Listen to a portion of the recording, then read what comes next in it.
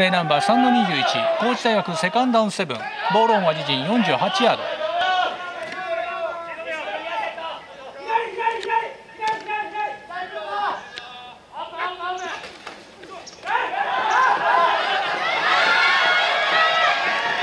パス成功ファーストラン。クォーターバック19番プレーアクションからワイドレシーバー5番のポスト投し。5番がキャッチアンドランでファーストダウン。